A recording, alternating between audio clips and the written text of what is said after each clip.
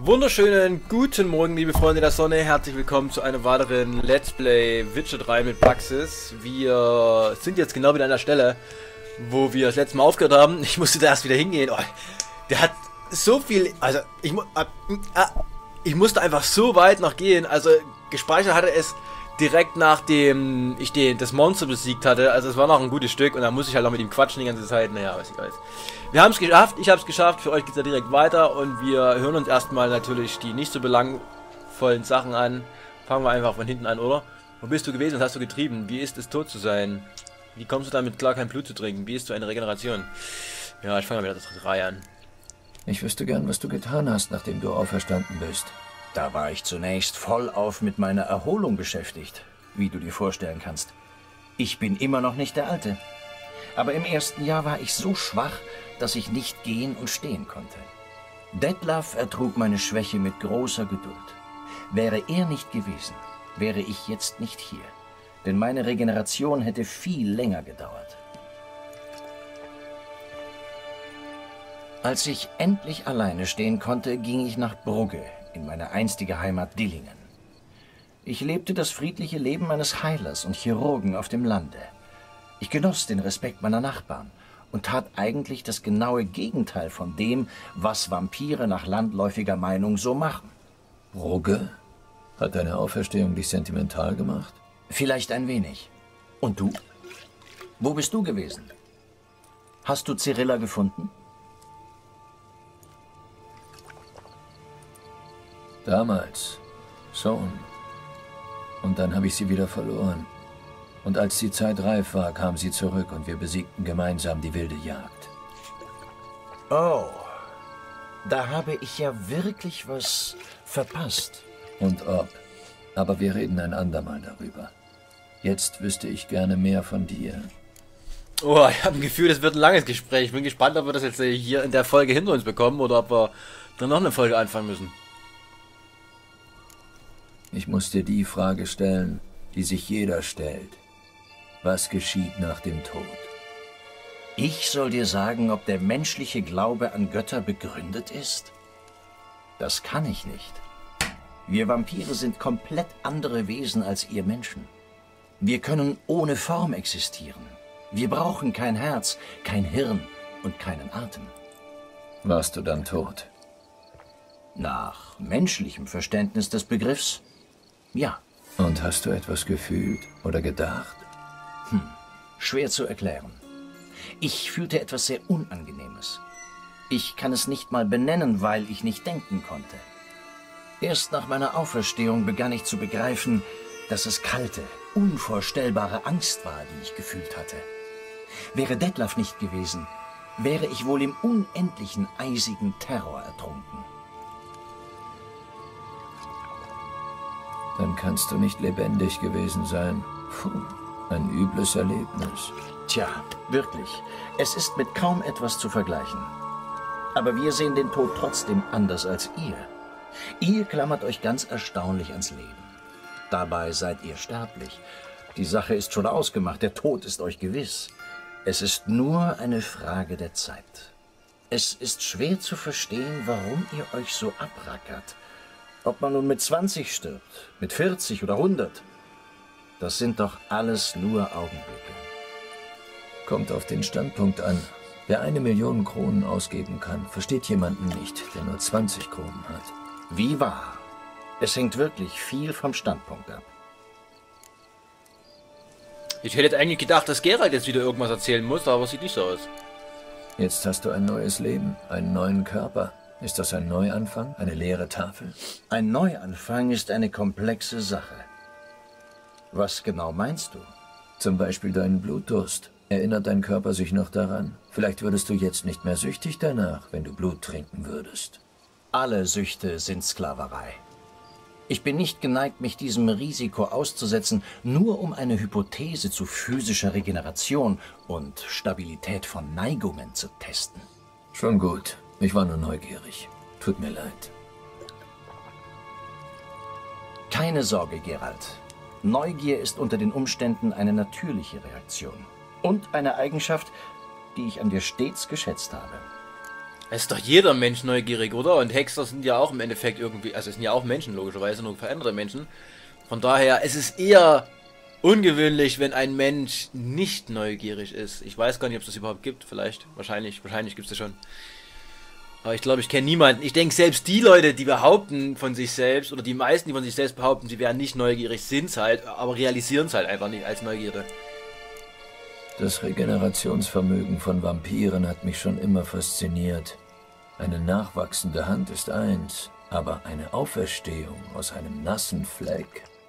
Es ist schwierig und aufwendig, aber doch möglich, wie meine Anwesenheit beweist. Aber wie ich hörte, hast auch du einiges erlebt. Angeblich hattest du das Gedächtnis verloren. Eine Weile. Triss hat mir geholfen, mich zu erholen. Ich habe noch Glück gehabt, dass ich nur eine Amnesie hatte. Ja, ihr Menschen seid in dieser Hinsicht dumm dran. Dabei ist es so leicht, euch ums Leben zu bringen. Ihr habt mir da immer leid getan. Uns Vampiren ist viel schwieriger beizukommen. Wenn wir tatsächlich umgebracht werden, können wir mit Hilfe eines höheren Vampirs wieder auferstehen. Nur wenn wir von der Hand eines anderen Vampirs sterben, ist der Tod für immer und es gibt keine Auferstehung.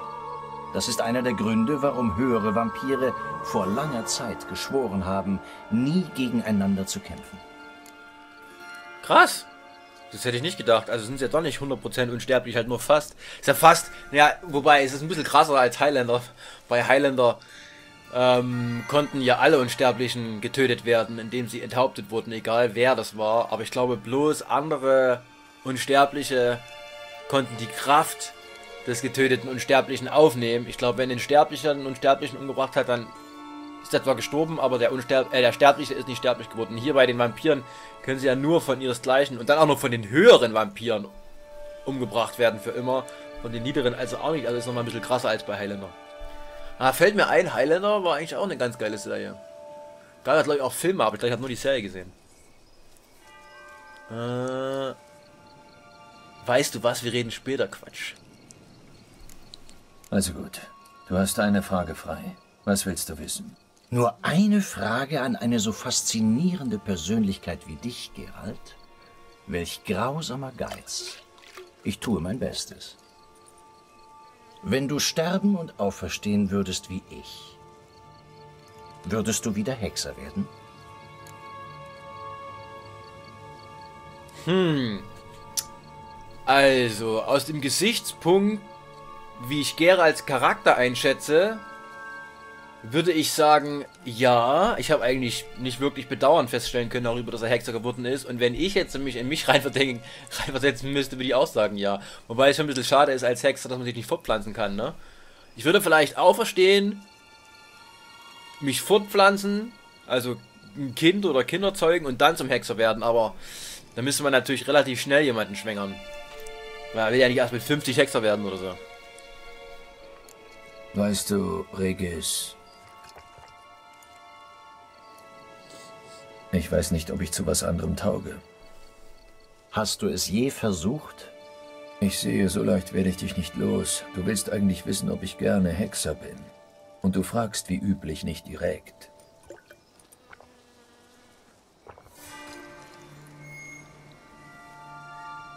Ich bin gern auf der Jagd, lese Spuren, finde Hinweise und ich mag die Spannung vor dem Kampf. Nichts setzt so viel Adrenalin frei wie ein Kampf gegen eine Bestie.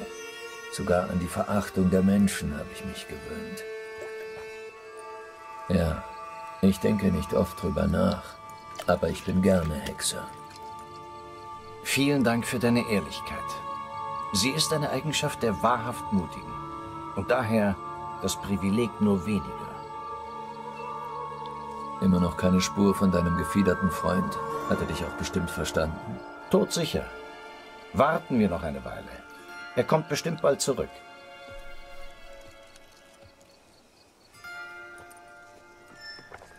Ich frage mich, ob auch Nacht gewesen wäre in dieser Szene, wenn wir nicht nachts hingegangen wären, sondern tagsüber. Ich, ich denke schon, weil es einfach sehr passend ist, aber ich weiß es nicht. Aber gut, jetzt ist es auch Tag, von daher wird es schon so sein.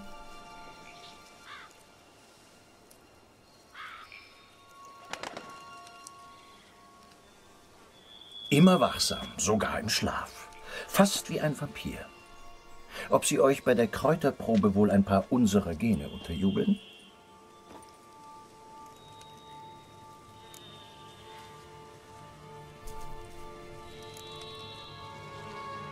Vielen Dank für die Blumen. Was gibt's Neues? Du hattest recht. Meilenweit keine Kobolde und keine Blender. War klar. Darf ich ausreden? Es gibt einen Fleckenwicht in einem verlassenen Anwesen im Karoberta-Wald. Unmöglich. Meinesgleichen haben sämtliche Fleckenwichte ausgerottet, bevor ich geboren wurde. Dann musst du wohl deine Ansichten über Fleckenwichte korrigieren. Diese hat jedenfalls den Hexerfeldzug überlebt.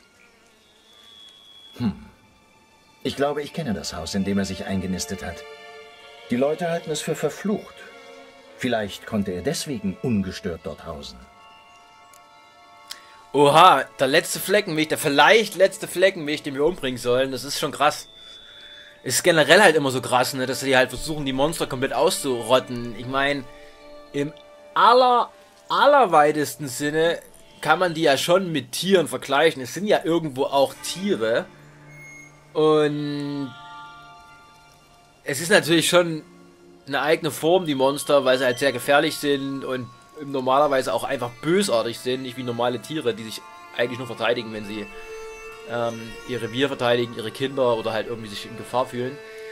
Aber dann halt trotzdem eine ganze Rasse auszurotten, wie sie es halt mit den Drachen auch gemacht haben. Es gibt ja, glaube ich, auch keine richtigen Drachen mehr. Obwohl er immer sagt, hier hausen Drachen, wenn man an den Rand der Karte geht. Aber richtige alte Drachen gibt es ja anscheinend nicht mehr. Die waren ja riesengroß, nur noch drachenähnliche Wesen. Oder Verwandte der Drachen.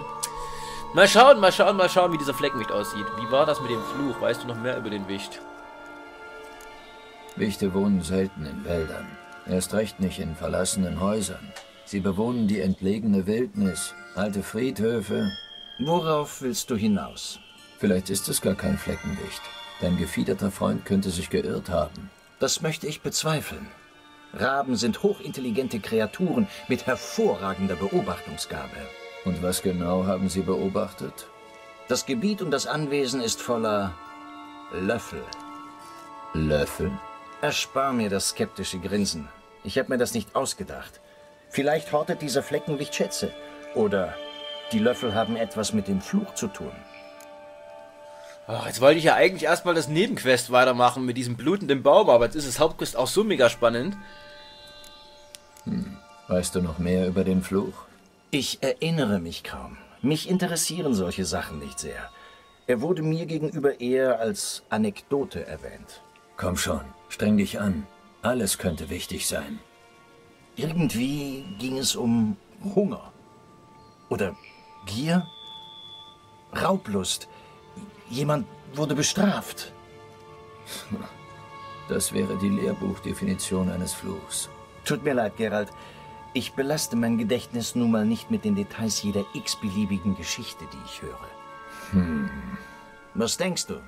Hm. Ein Vertreter einer längst ausgestorbenen Rasse und ein Fluch am selben Ort. Zufall oder stehen sie in Zusammenhang? Ah, professionelle Neugier. Ich habe nichts dagegen, dass du diese Frage untersuchst, aber denk bitte dran, dass wir nur etwas Speichel vom Wicht brauchen. Sonst nichts. Vielleicht ist er ja sogar intelligent, wir müssen ihn gar nicht umbringen. Also los. Du setzt schon mal den Absud an. Ich besorge den Speichel. Den müsste ich in seiner Suppe finden. Meinst du, der Wicht verkauft dir einfach was? Im schlimmsten Fall bringe ich die Speicheldrüsen mit. Die müssten es auch tun. Ich dachte schon, du wolltest ihn bitten, in ein Reagenzglas zu spucken. Ja, die Speicheldrüsen wären wunderbar. Also, bis später. Ja, bis dann. Ich fange mit ein paar Büchern an. Bücher? Ich dachte, du machst den absurd. Wir brauchen da noch eine Zutat. Aber die muss man erst mal kriegen. Hoffentlich kann ich eine Alternative finden. Gut, viel Glück. Dir auch, mein Freund. Regis. Ähnlich interessanter Charakter wie äh, Gaunter Odim. Wobei Gaunter Odim, ich glaube, an den kommt niemand ran, was die was das Geheimnisvolle und Interessante anging. Keine Ahnung, er war das verkörperte Böse, der Teufel, ich, ich weiß es nicht. Es war auf jeden Fall sehr interessant. In Hearts of Stone. Okay, dann wollen wir mal. Fleckenwicht. Ja, sieht eher aus wie so eine Ghoul-Art, aber könnte natürlich intelligent sein. Die beste Verteidigung gegen Fleckenwichte besteht in Ruhe und Stille. Abhandlungsfragment über Fleckenwichte von Roderick Gilligan. Fleckenwichte sind eine von Hexern praktisch ausgerottete Unterform der Wichte. Haben wir Wichte schon? Ah, hier. Das sind Wichte. Okay, ja gut. Es ist immer, es sieht aus wie ein Zombie, es sieht aus wie ein Zombie, könnte intelligent sein, aber die Wahrscheinlichkeit ist wohl eher gering, wenn ich das sehe. Scheint aber ein Zombie zu sein. Wichte, die Toten schätzen angeblich die Stille, davon weiß ich nichts, aber auf Wichte trifft es eindeutig zu. Heinrich von Grott. Wichte wirken zwar nicht wie besonders freundliche Kreaturen, aber es gibt keinen Anlass, ihnen feindselig zu begegnen. Wenn man sie in Ruhe lässt, gefährden sie niemanden. Sie sind vielmehr an ihren Suppenkesseln und Gebräuen als an Kämpfen interessiert. Diese Spezies lebt häufig auf alten Begräbnisstätten, wird aber auch an neueren Friedhöfen oder bei Massengräbern angetroffen. Wichte verbringen die kalte Jahreszeit in einer Art Winterschlaf. Sie leben als Einzelgänger. Von einem rudelweisen Auftreten ist noch nicht berichtet worden. Wenn Wichte ihr Territorium bedroht sehen, wozu ein Betreten desselben schon genügt, verwandeln sie sich in fürchterliche Gegner und können entgegen ihren sonstigen Gewohnheiten sogar andere Monster zu ihrer Unterstützung herbeirufen. Warum haben sie denn die Fleckenwichte ausgerottet, wenn die anscheinend gar nicht so gefährlich sind, oder sind Fleckenwichte da deutlich anders?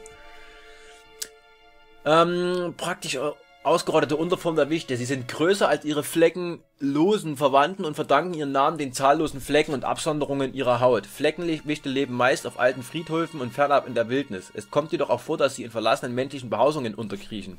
Ihre größte Leidenschaft besteht darin, sich aus ihren eigenen Absonderungen eine Suppe zu kochen. Ach du Gott. Wenn man sie nicht stört, sind sie nicht sehr aggressiv. Fühlen sie sich allerdings bedroht, können sie sehr gefährlich werden. Bei tiefen Temperaturen fallen sie in eine Art Winterstarre. Manche sagen, Hexer hätten eine todsichere Art gefunden, Fleckenmächte zu überwältigen. Sie soll etwas mit dem klugen Einsatz des Irdenzeichens zu tun haben, aber vielleicht ist das auch nur Hexergarn. Krass, wieso haben die dann ausgerottet, wenn die gar nicht so aggressiv sind? Es gibt äh, super viele andere, total aggressive, bösartige Kreaturen und die rotten sie aus, sowas.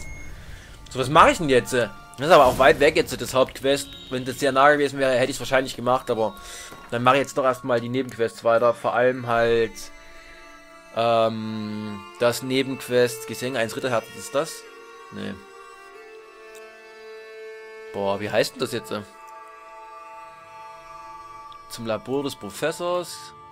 Fülle die, hahaha, triff dich, nimm einem Turnier teil. Neuen Clan zerstrahlen, geh zum Luchsfelsen. Das ist es, ne? Genau.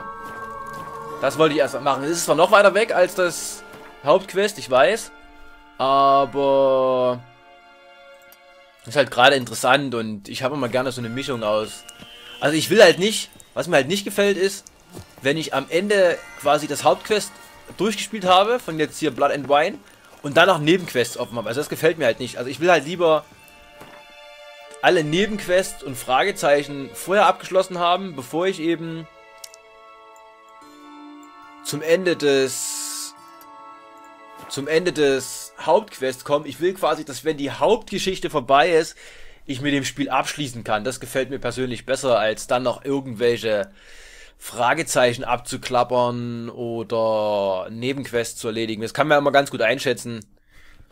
Jetzt ist es natürlich noch lange nicht so weit, dass das Hauptquest zu Ende ist. Deswegen kann ich hier auch ohne Probleme jetzt hin und her switchen, wie ich halt gerade Bock habe. Irgendwann ist es halt auch meistens so, dass ich dann einfach ich hab dir Geld gerade vielleicht keine Lust habe, Nebenquests zu machen oder Fragezeichen. Und wenn das halt der Fall ist, dann äh, ich glaube, wenn wir hinrennen, sind wir schneller, weil dann müssen wir nämlich können wir nämlich querfeld eingehen, was mit plötzlich nicht klappt. Ja, wenn ich halt gerade keinen Bock habe auf Nebenquest, dann mache ich halt das Hauptquest weiter. Wenn ich keinen Bock auf das Hauptquest habe, mache ich halt das Nebenquest, logischerweise. Aber ich zwinge mich meistens irgendwann dazu, das Hauptquest dann erstmal wieder nicht weiter zu verfolgen. Wobei, wie gesagt, gerade ist es echt spannend, das mit dem Fleckenmilch würde mich schon interessieren. Panther, greifen die an? Die greifen nicht an, was aber nicht heißt, dass sie keine Gefahr sind. Schön, wie Gerald meine Frage beantwortet. Er scheint mittlerweile mit mir zu reden.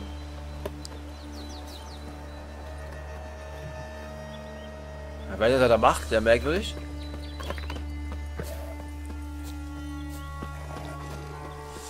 Ich ja echt mal gespannt, wie das hier weitergeht. Eine Markierung Eingang. Da werden wir wahrscheinlich gleich hingehen müssen, in die Höhle, denke ich mal. Ich glaube, Löwenzahn haben wir für irgendwas gebraucht. Sehr lustig auf jeden Fall, dass wir die einfachen Sachen jetzt brauchen. Eine Hütte, die der Hexe. War hier eigentlich irgendwo eine Wegmarkierung? Nee. Wenn ich die Käfige schon sehe, dann ist das doch schon ein Indiz dafür, dass hier Menschen festgehalten wurden. Ist noch irgendwo was rum? Leckeres Essen haben wir gerade, ein paar Früchte. Tabakspfeife. Flasche und Becher. Lokaler Pfefferwodka. Bestimmt verschlossen, oder? Ich wollte eigentlich einfach nur rein, aber... Ah, nee. Die Hütte sieht bewohnt aus, aber es ist niemand da. Ich sehe mich besser mal um. Gute Idee, Gerald. Ghoulblut, Quecksilberlösung, Rezepttransmutator. Nehmen wir alles mit, gehört eine Hexe, die braucht es nicht. Warm. Riecht nicht eindeutig. Keine Ahnung, was da drin ist. Zur Transmutation von Körpern. Die Transmutation von Körpern ist eine der schwierigsten Aufgaben, die ein Magier vollbringen kann. Tatsächlich ist es nur den wahren Meistern auf diesem Gebiet je gelungen, und selbst sie haben nur eine der Formen perfektioniert. Die Schwierigkeit entsteht in den psychophysischen Einschränkungen, da sich der Magier nur in ein Tier verwandeln kann, das er genauestens kennt. Oh, dann war das vielleicht der Panther. Ein bekanntes Beispiel hier ist Ulf Schwarzbart, der jahrelang mit einem Bären in einer Höhle lebte, um die Lebensessenz des Tieres in sich aufzunehmen. Lieber Ivonis. Lieber Ivonis, die Kammer der Magier hat dieses Werk verboten. Dann kann ich an einem Ort namen, dann kam ich an einen Ort namens Pnatal, in einer Welt, die Shagai genannt wird. Der Verstand eines Menschen kann dieses Land nicht verstehen, wo einem nicht geometrische Formen und schreckliche Farben ungewohnt ins Auge springen. In dem Moment, als ich ankam, war ich am Rand des Wahnsinns. Ich stieß einen stummen Schrei aus und schwitzte Blut, als zwei Sonnen über meinen Kopf aufgingen. Ich fiel auf die Knie und betete zu Zotaqua, nicht um Erlösung, sondern um einen schnellen Tod. Und dann kamen sie. Hinweis vom Hund des Einhorns. Die Maus sieht anfangs wie Hartkäse aus. Zu Staub zermahlene Knochen.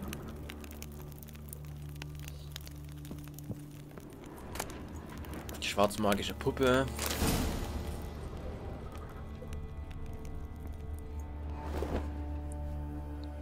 Hm. Hm. Eine Wand mit Zauberbauelementen oder Trophäen. Geil ist, wie er immer alle, wie er immer alleine vor sich hinredet, so als, als, als weiß ich nicht, als wenn er nicht denken könnte.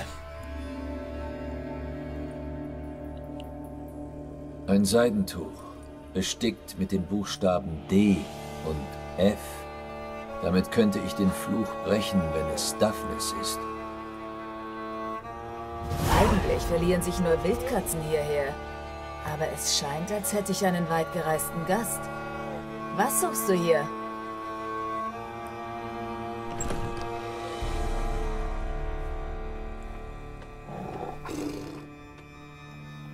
Ich hab's schon gefunden.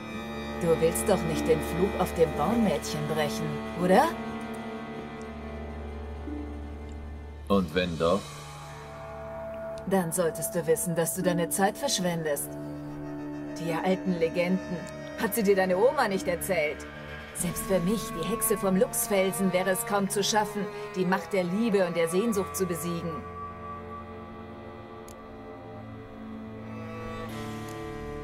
Der Ritter, der zu dem Mädchen gehörte, war er hier? Ritter Garrett? Ja. Er wollte mich besiegen.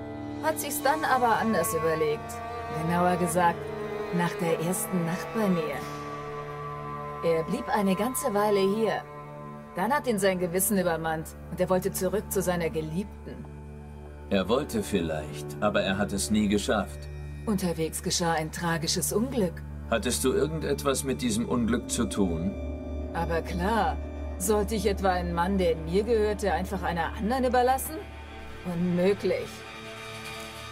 Hm, also schon eine böse Hexe. Was, wenn ich dich freundlich bitten würde, den Fluch zu brechen? Garrett hat bekommen, was er verdiente. Und was mit seinem Flittchen passiert ist, war nicht mein Fehler. Gut, es ist also nicht dein Fluch. Aber du könntest ihn brechen, oder? Das könnte ich wohl. Doch warum sollte ich?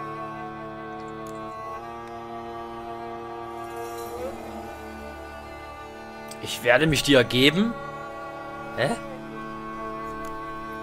Ich werde mich dir ergeben, mich vor dir niederwerfen, wie Gareth in der Geschichte.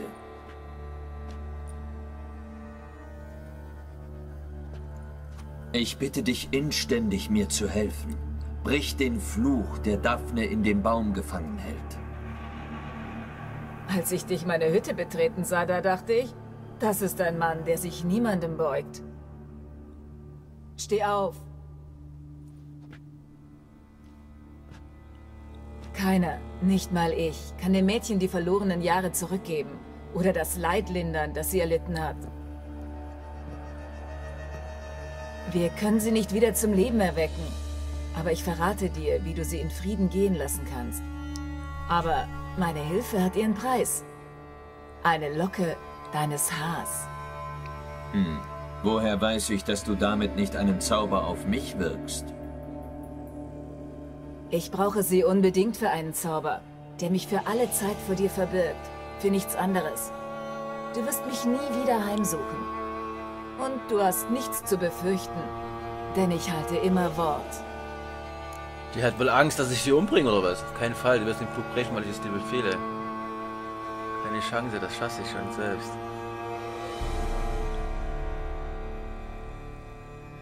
Das ist schwierig. Oh, ist das schwierig.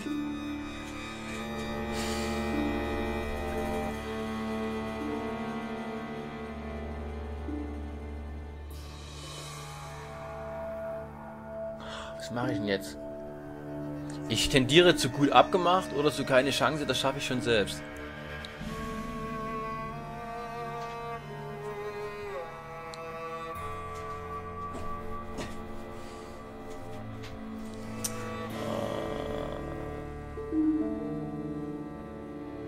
Mein Gefühl sagt mir, ich soll dir die Logge nicht geben. Ich werde dir nicht trauen. Nicht mal mit einer Haarlocke oder was anderem. Um den Fluch kümmere ich mich ohne deine Hilfe. Dann mal los. Viel Glück dabei. Du lässt mich gehen? Einfach so? Es gäbe kein besseres Ende für diese kleine Geschichte. Die Besuchszeit ist um. Leb wohl. Auf Nimmerwiedersehen. Auch interessanter Charakter. Würde mich ja echt mal interessieren, was die anderen Optionen gewesen wären. Ich glaube, das mache ich jetzt auch. Als Ende dieser Folge. Passt auf. Wir haben jetzt gespeichert. Das ist jetzt unser Weg, den wir weitergehen werden. Aber ich werde mal laden vorher. Ich glaube, das ist der gleiche Punkt, genau. Und wir werden mal die anderen Optionen uns angucken. Hab das Gefühl, das hätte interessanter sein können mit ihr. Aber wie gesagt, wir gehen den Weg jetzt erstmal so weiter, würde ich sagen.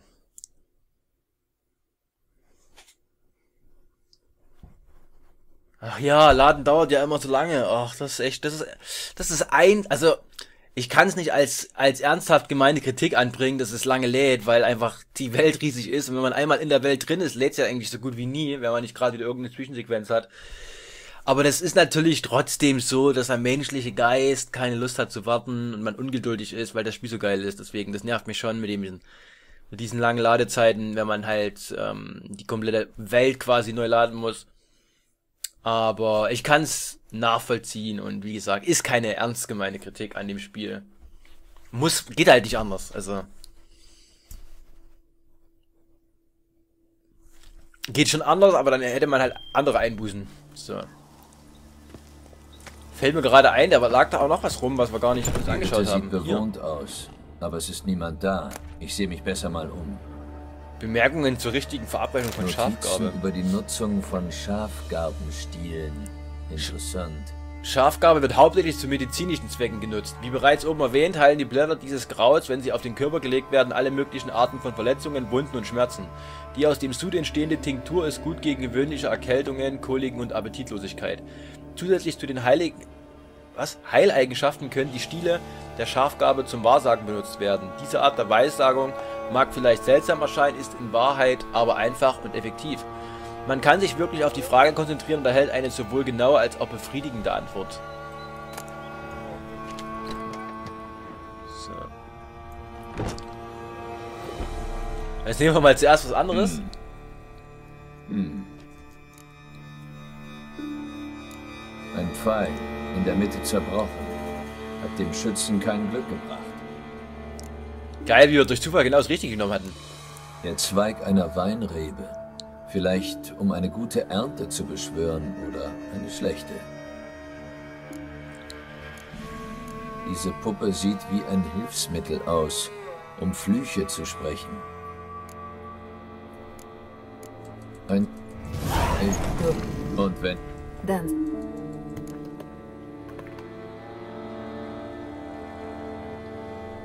So, wir machen trotzdem erstmal die vier. Ja. Er hatte kann den Fluch selbst brechen. Da kommt wahrscheinlich das gleiche raus, wie wir, wie wir gerade gemacht haben, nur dass es halt schneller geht. Und da nehme ich direkt die 3. Wenn du mir nicht hilfst, wirst du es bereuen. Ich werde dich zwingen. Weißt du, was mich so richtig wütend macht? Geschrei und Drohungen. Besonders unter meinem eigenen Dach. Das wäre alles nicht nötig, wenn du kooperieren würdest. Wie sollte ich denn, wenn du sowieso bald tot bist? Ah, jetzt kämpfen wir halt einfach. Ah, okay, alles klar. Doch nichts Spannendes, wie es aussieht.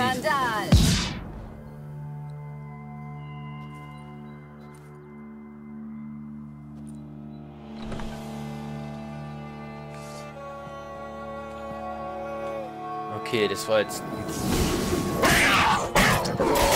total unspannend, muss ich zugeben. Ich habe auch keinen Bock, die jetzt platt zu machen, wozu auch. Wir wissen ja, was dann passiert, das ist dann halt tot, ne? So. Oh Gott, die Folge wird ja ewig lang, aber ich will dafür keine neue Folge anfangen, wenn ich ehrlich bin. So. Jetzt gäbe es noch die Option halt direkt zu sagen, hier, pass auf, Bingo Bongo, Schnick, Schnack, Schnuck, rein in den kleinen Muck, wir haben, wir machen es alleine, aber dann kommen wir wahrscheinlich einfach daraus, wo wir halt ähm, gespeichert hatten. Also, dass sie halt sagt, alles klar, mach's gut, lässt uns raus. Und jetzt gucken wir mal, was passiert, wenn wir die Logge geben, aber ich glaube, es ist passiert doch nichts wirklich Spannendes. Ich dachte, jetzt verstrickt sich das dann einfach mehr oder so. Aber ich denke, ich habe mich geirrt. Also anscheinend bleibt es dann einfach so. Also es wird anscheinend nichts wirklich super Spannendes passieren. Aber gerade weil sie halt gesagt hat, sie will die locker verwenden, damit wir sie nicht mehr wiederfinden. Das klingt halt fast so, als ob wir sie nochmal irgendwann sehen würden oder sehen könnten oder sehen müssten, wenn sie nicht die Locker hat. So jetzt später im Spiel. Und deswegen dachte ich mir, gibst du ihr die Locker besser nicht? Ich glaube zu ehrlich gesagt nicht, dass sie lügt. Das hat einfach nicht so gewirkt, aber naja, mal schauen. So. Die Hütte sieht bewohnt aus. Aber es ist niemand da. Ich sehe mich besser mal um. Hm. Eins. Hey. Und. Da. Äh. Was? Das. Ich werde dich zwingen. Ich kann den Fluch selbst brechen. Oh, wenn ich das jetzt mache, kriegen wir wieder das Logger nicht hin, aber ich will gucken, was da passiert. Um den Fluch kümmere ich mich ohne deine Hilfe. Okay. Du lässt mich gehen. Scheiße. Die Besuch War ja komplett sinnlos. Oh! Ich wollte einfach wissen, was passiert, wenn ich den Punkt nehme. Ach, war das dumm, ey. Hä? Wo ist denn jetzt der Speicherpunkt hin? Hallo?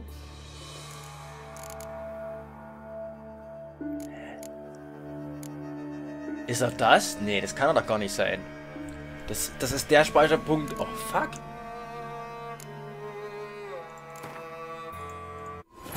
Wie weit kommt man jetzt zurück? Oh, ich muss die Aufnahme jetzt hier trotzdem erstmal beenden. Das wird sonst nichts. Ich beende die jetzt äh, und wir machen beim nächsten Mal weiter. Ich will nicht, dass die hier stundenlang geht. In diesem Sinne, bis zum nächsten Mal. Tschüss.